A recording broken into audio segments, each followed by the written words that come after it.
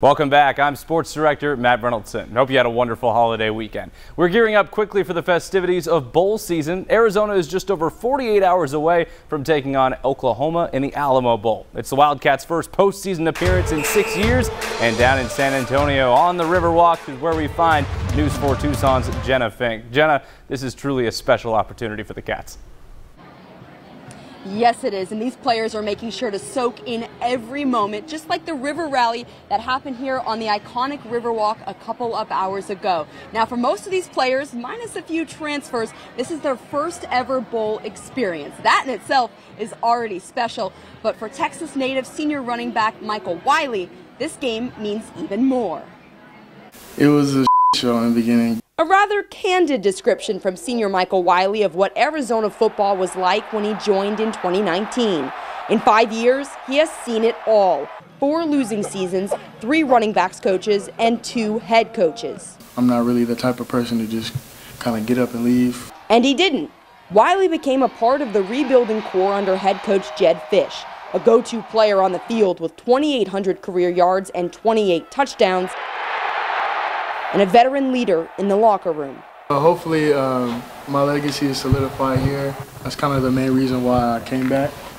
Um, you know, to be able to, uh, you know, have those big games. He thrived in those big games, especially this year's Territorial Cup. He won MVP after rushing for over 200 yards and three touchdowns. Now he'll play in his biggest game yet, in his home state. How does it feel to play your final college game in Texas, just three hours from where you grew up?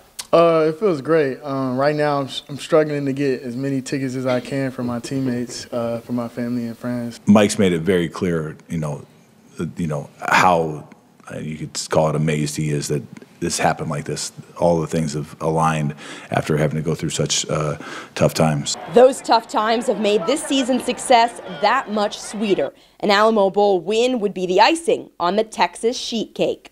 We win this game, we're, we're going to be in the top 10 for next year's poll. And so uh, for me, I think I want to just leave it all out there and just, you know, give uh, next year's team the best possible uh, advantage they can have. To be able to really send him off with a win and send him off with uh, into his next life, or hopefully an NFL life, which I believe it will be, uh, with a positive momentum would be just phenomenal.